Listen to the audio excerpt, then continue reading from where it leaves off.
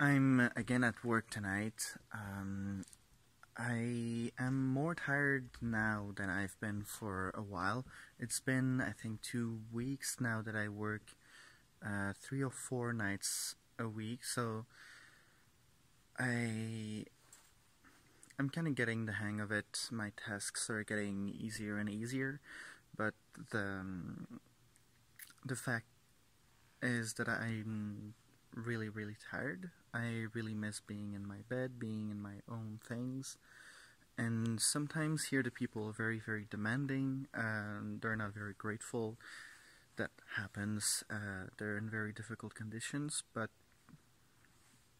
uh, it's quite taxing emotionally, and I would really like to be home and just sleep better a little bit.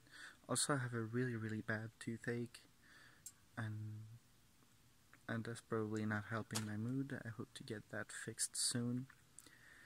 So, I've been working on a video for the past two days. It's it's coming along nicely. It it was supposed to be a vlog. I hope I'll make it out to be something a little more because it's becoming dated a little bit. Um, but I don't know yet what what shape it's gonna take. Again, I'm really tired, but I'm glad that I get to make these videos, that I get to talk. Um, I'm gonna go right now. I, you know, I'm just really tired, and my mind is trailing off a lot these days.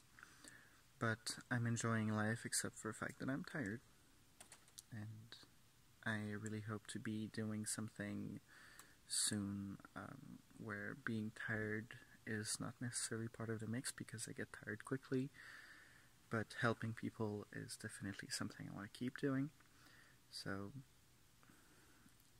I'll, I'll let you sleep. It's about 5 a.m. now, 4 5 a.m. Uh, well, it's 5 a.m. So I'm gonna let you sleep. I should sleep. My body is screaming me to uh, screaming at me that I should do it, but I can't right now. So I hope you heard that. I'm not talking very loud because residents are in the house uh, at the moment and I don't want to wake anybody up.